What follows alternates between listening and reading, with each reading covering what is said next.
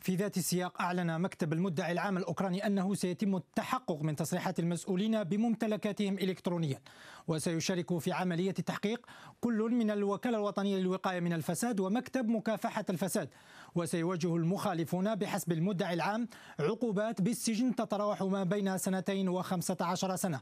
ووجه لوسينكو في ذات السياق نداء للدائرة المالية من أجل التحقق من الجهات المانحة بدفع الضرائب والمحددة قانونيا للتذكير فإن المرحلة الأولى من التصريح بالممتلكات إلكترونية للمسؤولين أغلقت في منتصف ليلة الثلاثين من أكتوبر الماضي.